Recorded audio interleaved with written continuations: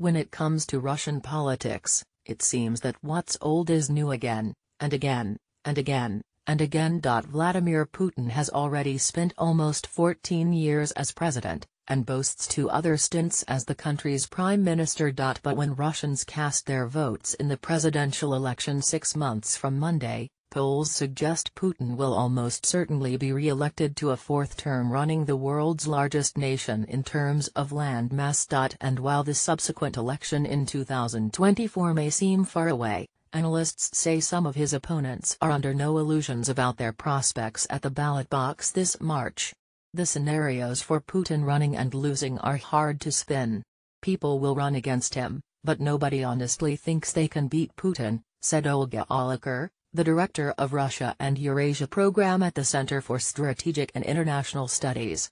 They know they can't win the election, but they can demonstrate their presence and plan for a future when winning elections becomes possible.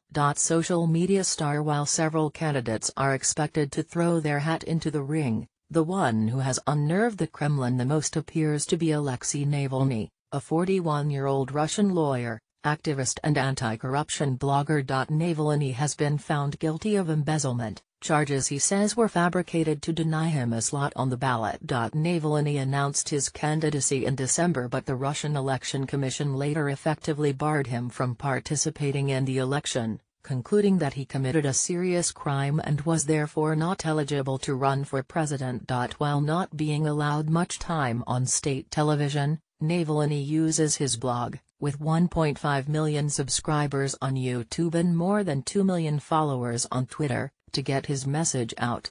Mark Galeotti, a research fellow at the Institute of International Relations Prague, says the Kremlin may have initially contemplated the possibility of allowing Navalny to run before deciding he was too dangerous.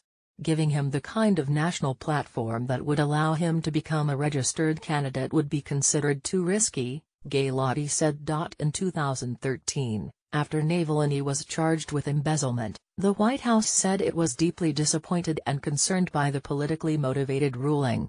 Navalny's harsh prison sentence is the latest example of a disturbing trend aimed at suppressing dissent in civil society in Russia, then White House spokesman Jay Carney told a news briefing. According to Galeotti, Navalny is looking beyond 2018 and is trying to grow his personal brand. The opposition politician is also ramping up his anti-corruption efforts.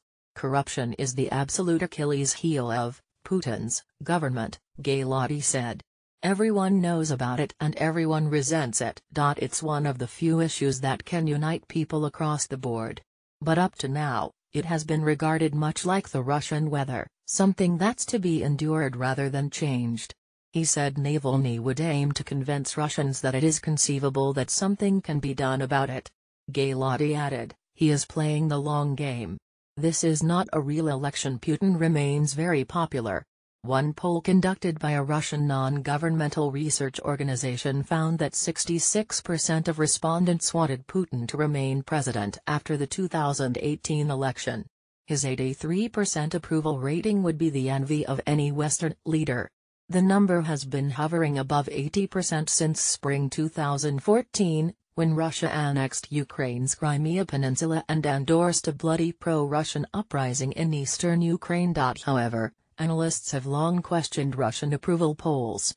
Studies show that in authoritarian states, polls can overstate the popularity of incumbent leaders by between 5 and 20 percent because many respondents give the answers that they think are expected of them. Pollsters have also long complained that many people refuse to speak to them, which means no one, not even the Kremlin, knows what many Russians really think about the government. The 64-year-old Putin has not officially declared his candidacy yet, but experts suggest little should be read into that.